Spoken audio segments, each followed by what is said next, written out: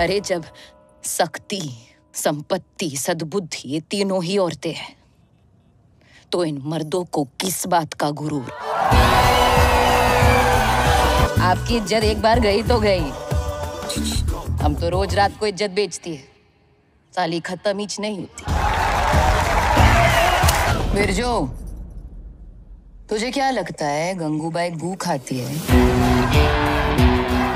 मुझे तेवर दिखा रही है। तुझे तो दिन में तारे दिखाऊँगी मैं। तेरी रजिया खराब सुन सुन की उल्टी आ जाती है। ए तेरी औकात में